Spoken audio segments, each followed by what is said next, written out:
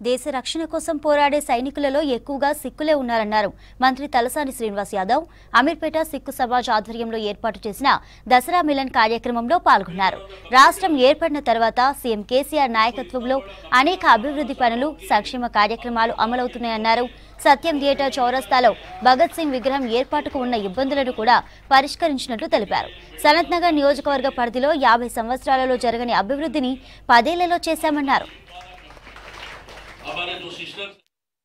ప్రచారం చాలా అద్భుతంగా జరుగుతున్నటువంటి సందర్భంలో ఈ రోజు మన గురుద్వార అమీర్పేటకు సంబంధించి గురుద్వార అధ్యక్షులు మన సర్దార్జీ సందర్ అంటే ఇక్కడ అమీర్పేట కానీ బల్కంపేట కానీ సనత్ నగర్ ప్రాంతంలో పెద్ద సంఖ్యలో ఉంటారు మనందరికీ తెలిసిందే. వాళ్ళందరూ యునైనిమస్గా ఈరోజు ఈ రోజు సపోర్ట్ చేయడం అనేది నిజంగా చాలా సంతోషించేదగ్గ విషయం. కేసీఆర్ గారి ప్రభుత్వం ఇంత అద్భుతమైనటువంటి డెవలప్మెంట్ వెల్ఫేర్ చేసిన తర్వాత తప్పకుండా మిమ్మల్ని బలపరుస్తామని చెప్పి ఈరోజు మరి సంపూర్ణంగా వాళ్ళు బలపరిచినందుకు వారికి కూడా అభినందనలు.